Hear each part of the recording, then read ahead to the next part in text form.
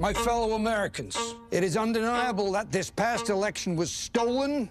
To all those members of the armed forces, join with us to defend our liberty and land. Seated around this room is an incredible diversity of professional experience spanning the last five presidential administrations. Most of you have sworn under oath to defend the Constitution. What happens when those in uniform break that oath? January 6th demonstrated a possible false sense of security. The next insurrection could involve members of the active duty military turning their weapons around on the folks that they're there to protect. One of the recommendations was to war game what that might look like. I am President Hotham, Chief Executive of the United States of America.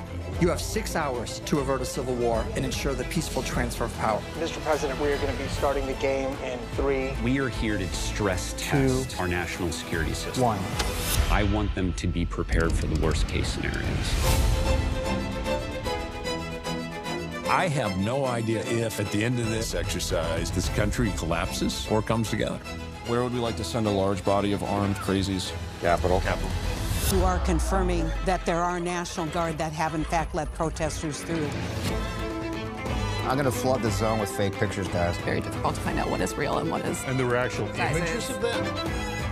It is not compromising the proceedings of the election. The yeah, it is compromising the proceedings of the election. The entire Congress is still in a bunker.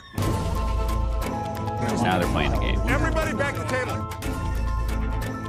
You can authorize lethal force. Pause for just a second. Is that correct? You could have federal... We've done it on the southwest border. He's going to have to make a decision.